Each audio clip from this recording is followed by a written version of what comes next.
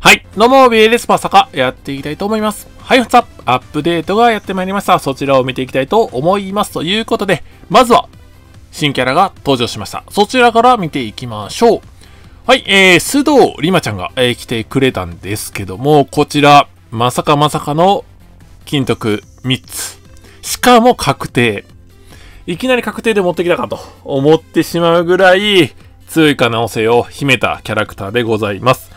で、見る限りゴールキーパー、ね、ゴールキーパーのキャラとなっておりまして、それプラスサイドバック。ね、サイドバックでも使えるようなキャラクターとなっております。で、先に見ておりますが、まあ、このキャラクターにおいては、はい、両方とも金徳が3つとも確定。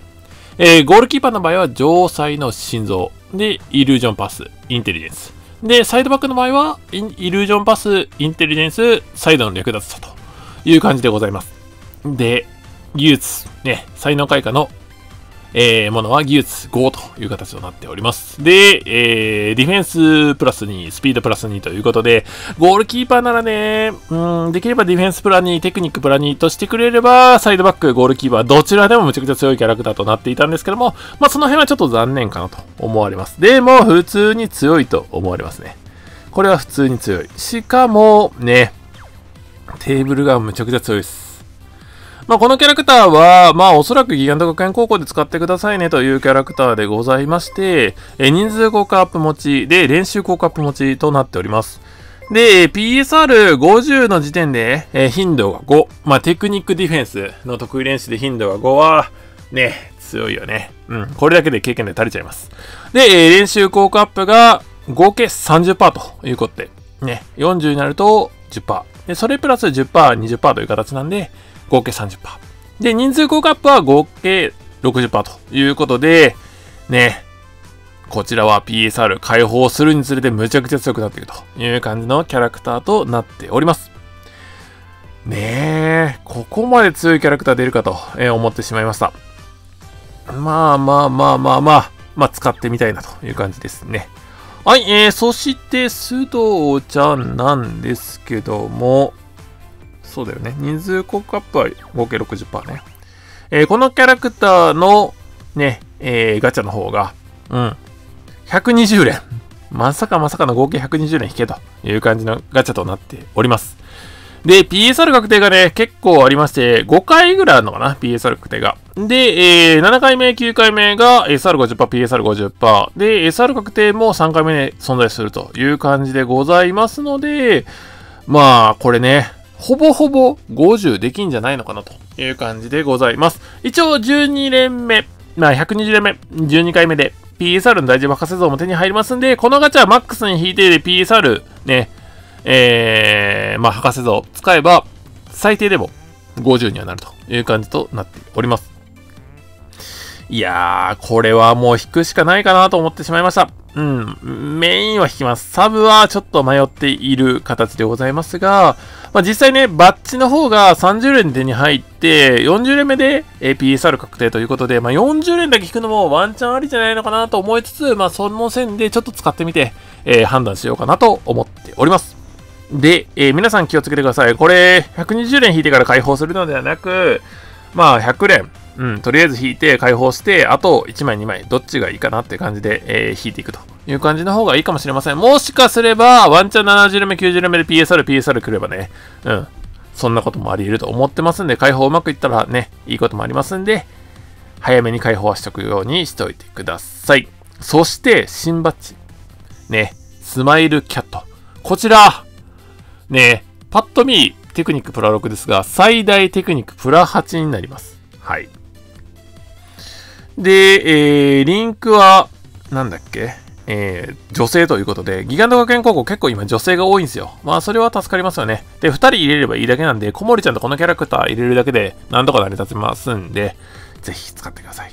そして、バッサム、バッチカスタムってこんなんあったっけ？もともと。もともとこんなんついてたっけ？と思うものも来ております。まあ実際これはね、えー、どれにするか、うん、微妙なところはありますが、まあ、ゴールキーパーであれば、まあ、パワーなのか、メンタルなのか、まあ、スタミナ、精神余ればいいけどね、ちょっと精神がきついところがあるので、まあ、筋力余りやすいし、パワーでいいんじゃないのと思うところもありますんで、まあ、その辺は、うまいこと使い分けするしかないのかなとは思っております。はい。で、えー、このキャラクター以外に一応超狙い撃ちゴールキーパー育成応援ガチャが来ております。うん。実際 PSR 両方とも、両方ともじゃねえか。えー、うどうちゃんが PSR うん、確定でございます。いや、これね、メインでワンチャンうどうちゃんの PSR 欲しいんだよなと思ってしまいました。まあ、それぐらいうどうちゃん強いんで、まあ、ワンチャンそれもありかなと思ったりもしております。で、えー、本間くんも確定です。本間は一応 PSR 持ってるんであまり引きたくはないんですけどね。うん。こういうガチャちょっと引きたくなるよね。まあでも、無課金美課金はスルーでいいと思っております。で10、10回目以降は SR 券、うん、毎回もらえるってすごいけど、まあ、実際この PSR 全員手に入れれば、ね、うん、50には、48になるのかな ?48 になって、SR の、えー、ピックアップ確定が、えー、10回あるんで、まあ、それ引かずとも50になるのかなと。うん、悪ければワンチャンって感じかな。はい。で、えー、それ以外は、新バッチ来てますよと。で、城西の心臓が来てますよと。で、これゴールキーパー限,、えー、限定ね。で、えー、あとはパワースターの増量キャンペーンが来ております。あと、今後の開催のやつね、えー、こちら、ストーちゃんが追加されたのかなされてますね。うん。で、あと、新イベキャラ登場キャンペーン来てます。こちらね、えー、もし引かない方もね、えー、こちらはフレンドで借りてもパースターもらえますんで、えー、しっかりとパースター回収しておいてください。あと、ハッピーサクセスキャンペーンが来ております。まあ、こちら、えー、23日から28日、天才確定が来ております。まあ、これもね、うん、しっかりと更新目指して頑張りましょう。で、あと、えー、ログインボーナス、そして発掘、宝探し、ストライカー杯が来ております。まあ、この辺はね、いつも通りのイベントでございますので、えー、省略はさせていただこうかなと思っております。はい、えー、そして、まあ、イベント的に12月4日で発掘宝探しが消えます。で、ここでアップデートが来ると思っておりまして、おそらくここで周年イベント来るんじゃないのかなと。まあ、12月7日ぐらいが確か周年だった気がするんで、まあ、こっから1週間以降ならばまだアップデートが来る可能性あるけど、まあ、12月4日に来るんじゃないのかな。まあ、もしかしたら新高校来る可能性があるから、まあ、このキャラクターをスルーする。まあ、須藤ちゃんをスルーするのも、ワンチャンありだと思ってます。ね。えー、この辺のガチャもね、12月4日で終わりますんで、そこで、ガチャ、まあ、周年ガチャが来ますんで、無課金、未課金は結構慎重になるべきだと思っております。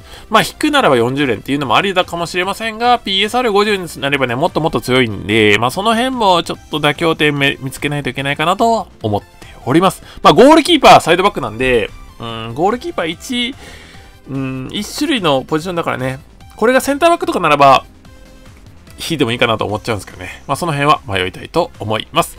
はい、えー、本日はこれで終わらせていただきます。ご視聴ありがとうございました。こちらの動画が良かったなと思う方はグッドボタン、そしてチャンネル登録よろしくお願いいたします。ではまた次の動画でお会いいたしましょう。おつべた